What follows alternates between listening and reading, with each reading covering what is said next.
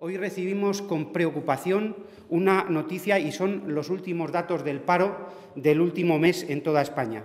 El paro en España ha registrado una subida de 46.400 personas.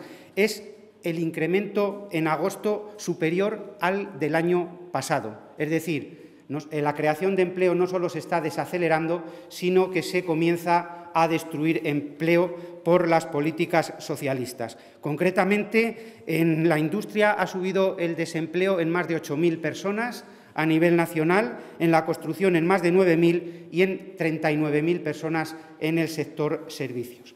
Como digo, este es un dato preocupante que em, demuestra que la gran locomotora de eh, facilitar la creación de empleo a las empresas, que son las políticas de empleo del Gobierno de la Nación, empiezan a estar fallando. Ya sabemos que habrá algunos que lo justifiquen en, bueno, pues en que el turismo ha descendido, también fallo del Gobierno socialista, cuando el año pasado el crecimiento fue muy superior al de este año en materia de, en materia de turismo y otras eh, materias.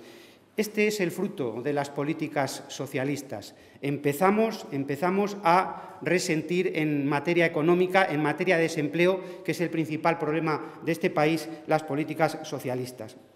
Cuando gobierna el Partido Socialista, como se está comprobando, vuelve el paro, Suben los impuestos, ¿qué les voy a decir yo en estos días de las repetidas subidas de impuestos? Que si sube el gasóleo, que si van a subir el impuesto sobre la renta. Ellos, eh, las políticas socialistas es cuanto menos dinero tenga la gente, mejor, porque así más dinero tienen ellos para gastarse en el incremento de ministerios, en las obras de la Moncloa o en lo que consideren oportuno. Y también. Eh,